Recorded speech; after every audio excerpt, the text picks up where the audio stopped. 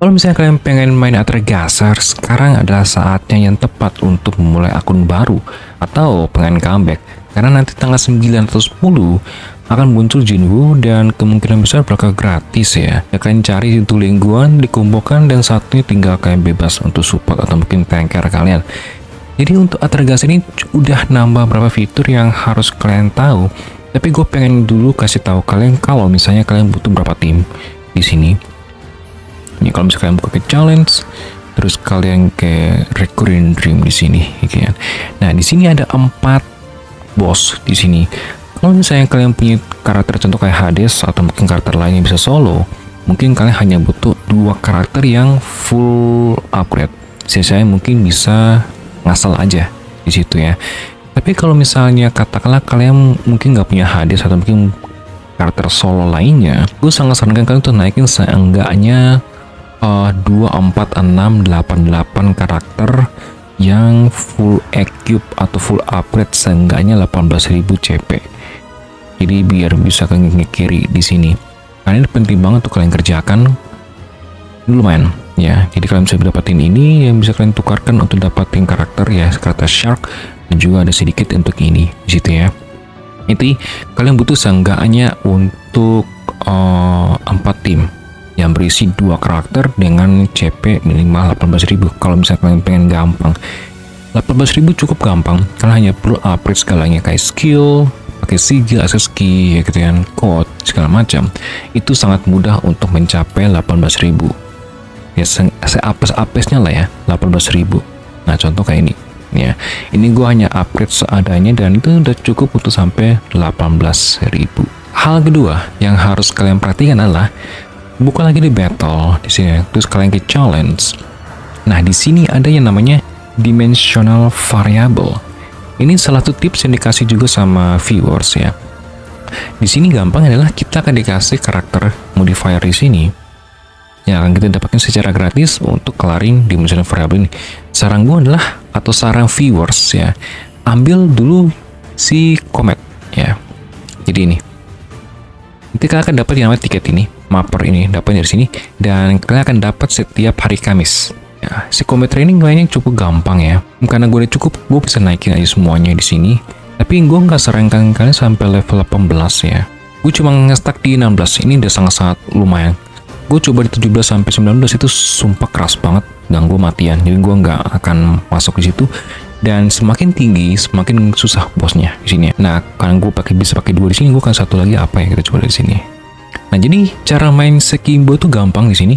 Kalian hanya perlu nge-spamming skill 1 dan basic attack. Nanti pas lawan boss, kita akan ambil yang namanya Tom. Itu akan memperkuat skill satu kali biar makin mantap lagi. Sini, jadi kan tinggal spam skill satu doang sini ya. Dan gue sangat sarankan untuk ambil sesuatu yang bakal memperkuat basic attack kalian. Contoh paling bagus adalah ini. Jadi setiap kali basic attack ada kesempatan untuk memberikan damage tambahan ya. Nah, basic attack ini, jadi prioritaskan untuk ambil yang normal attack ya, atau basic attack untuk oh, efeknya. Itu kan tinggal kelarin aja dulu di sini. Pakai skill satu ya di sini ya. Skill satu ya. Skill satu. Jadi kita nggak bakal main skill 3 karena skill 3 nggak guna. Jadi kalau misalnya kalian punya Hades ambil Jadi kalian sini akan pilih yang nama Tom. Jadi kalian ambil dulu ini, ambil yang buat ini aja ya.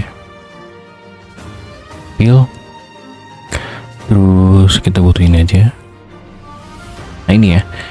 Jadi kalian ambil dulu yang, namanya psikologi Tom. Ini sangat-sangat worth it untuk kalian ambil akan memperkuat skill satu kalian.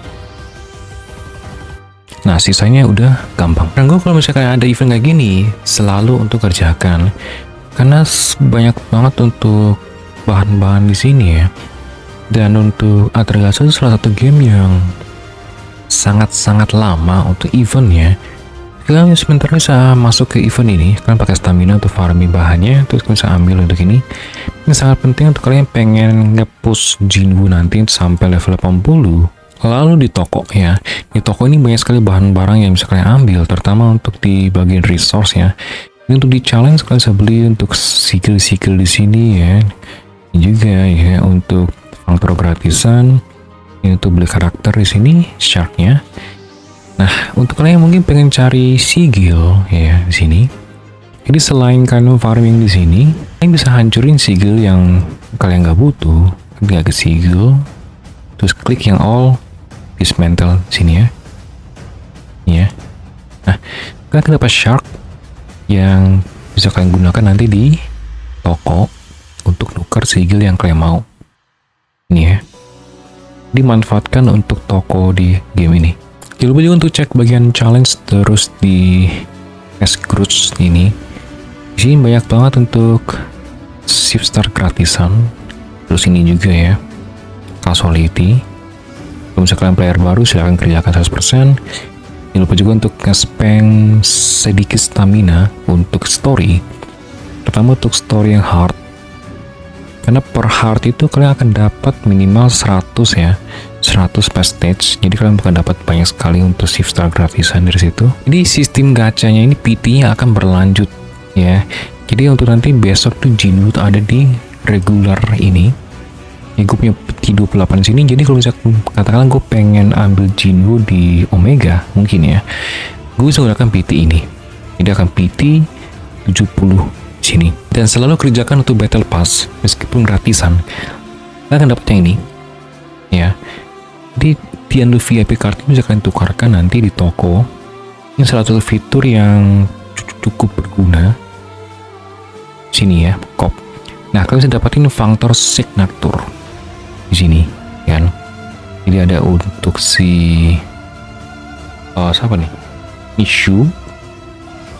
Terus ada juga untuk si Buzebu terus ada juga untuk si uh, Sekimbo lalu terakhir untuk si uh, Pertandi Pertandi yang ranking B.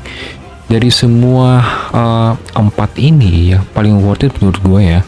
Pertama tuh si Buzembu yang kedua tuh si Vertandi karena di game ini meskipun rank A atau rank B itu sangat-sangat berguna. Contoh kalau bisa lihat di sini ya gue masih pakai yang rank B. Ini ini rank B loh. Tapi udah Omega karena gampang banget untuk dinaikkan dan lihat CP nya. 27.000 dan ini belum full upgrade ya. Belum belum full upgrade ini. Gue masih harus naikin uh, sigil juga. Ini sigilnya masih ngaco untuk statsnya. Warp juga masih ngaco-ngaco ya. Mungkin gue akan ganti lagi untuk yang lebih optimal. Jadi itu sedikit tips aja untuk kalian yang pengen main akun baru atau mungkin pengen comeback jadi sekarang saat yang tepat karena Jinwoo bakal rilis